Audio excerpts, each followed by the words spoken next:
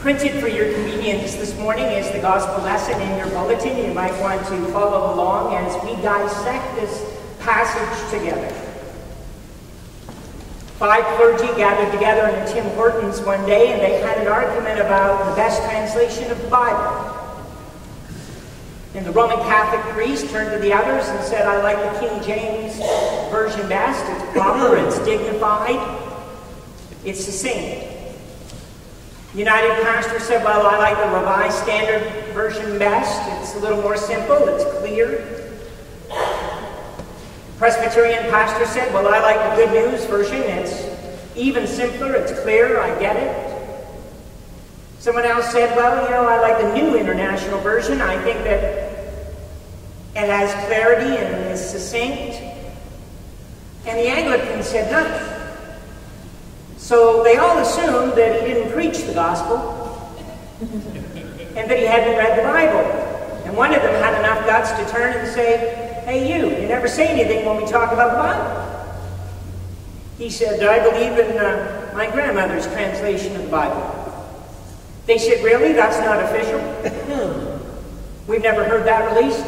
He said, My grandmother's translation is she read it and she lived it. And that's my favorite translation of the Bible. So let's look at a Bible passage together. This is the most loving, sensitive, compassionate, sensitive passage in Scripture. This is about a woman's honest, sincere love for her Lord. This is about a prostitute who decides that she's come to the crossroads of her life and she doesn't want to be and do what she is and what she's doing but it's more. There are moments in the next few moments that you may say, Where is he going? So bear with me as we go verse by verse and dissect the passage for the revelation that comes with the good news of the end. We begin. Now, one of the Pharisees invited Jesus to have dinner with him, so he went to the Pharisee's house and reclined at the table. This is the beginning of the passage. You need to understand that the Pharisee did not know Jesus, but invited him for dinner. Have you ever been in the car on your way to somebody's house and asked yourself this question Why am I invited? What's the motive? I've got to tell you, over the years, as parishioners arrived at our home for dinner about halfway through, somebody has always said to us over the years, okay, so why am I really here? I thought it was roast beef and potatoes. But they assumed a motive. And motive in this passage, and motive in people's behavior is so important that we need to consider it today. So Jesus arrives at the Pharisee's house. It's crowded. It's probably a very long table in a huge room. And his guest says to him, Oh, Jay, you're over there. Now keep going. Mm-hmm. Keep going. Yeah, over there. Oh, by the way, great to see you. He doesn't wash his hands on his way in. He doesn't wash his feet as the tradition welcome. He doesn't anoint his head as a prophet. He doesn't embrace him in love and encouragement. He just says, down at the end is your seat. And Jesus arrives, and the table is about this high off the ground. And so he reclines on the cushions that are provided and puts his elbow on the table with his feet pointing away from the table. That's really important. Stay with me. And then it happens. When a woman who had lived in a sinful life in that town learned that Jesus was eating at the Pharisee's house, she brought an alabaster jar of perfume. This is really important because alabaster perfume is very expensive, which means she was doing really well as the local prostitute. And it says that she heard that the Pharisee was hosting the party. Who did she hear from? Her client the night before. Who's in the room? Have I got you yet? A matter of fact, she knew most of the men in the room. In a biblical sense. and nobody said hi. Did you notice that? Nobody wandered over to her and said, hey, how you doing? Not one. Not one.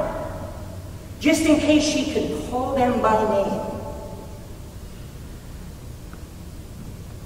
And when she arrives, and she's heard Jesus is there. She brought this alabaster jar of perfume, and as she stood behind him at his feet, she started to cry, and she began to weep and wet his feet with her tears. And then she wiped them with her hair, kissing them and pouring perfume on them. You need to know two things about this. Number one, you don't wash somebody's feet easily with tears. This takes a while.